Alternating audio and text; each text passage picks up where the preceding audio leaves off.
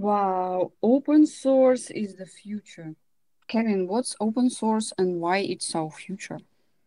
Well, open source software is publicly developed. The source code is available for reviews and improvements by anyone. So that's that creates trust and quality without high license fees.